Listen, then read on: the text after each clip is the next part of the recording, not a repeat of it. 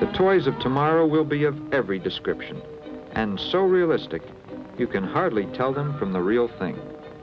There will be comical animals like Mighty Mouse who can carry on a conversation or fly through the air with the greatest of ease. You'll find a lot more Wild West action at Fort Laramie.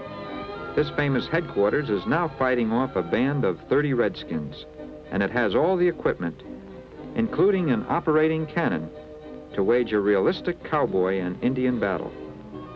More up to date will be this flying boxcar and combat team.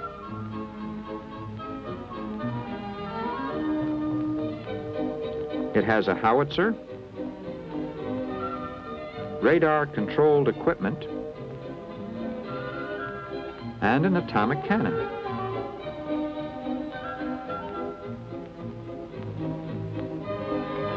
See this giant army transport with revolving propellers?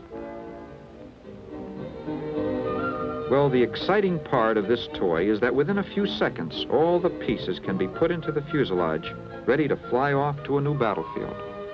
Someday in the future, scientists will be firing satellites into space. And one of the new toys certainly will be a satellite launcher truck.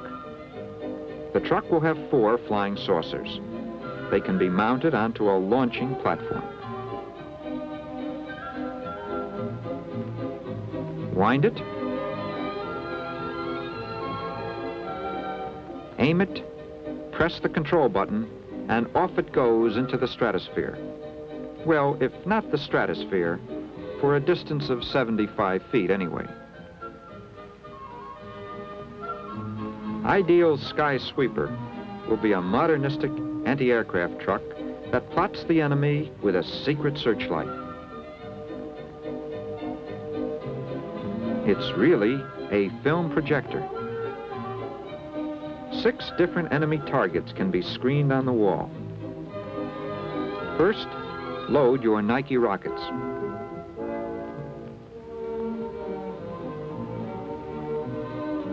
Then zero the enemy in through a crosshair sighting device. When the target has been tracked, blast away. Fire one. Fire two. Some people say toys of the future will blow up the Earth.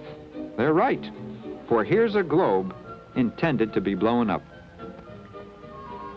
Light as a beach ball, yet it's authentic in every detail with over 2,000 names of oceans, countries, and cities. It will even have a wrought iron stand. It's typical of the ingenious toys of tomorrow, educational and lots of fun. What will they think of next? Well, if they can improve on these ideas, I'll be a monkey's uncle.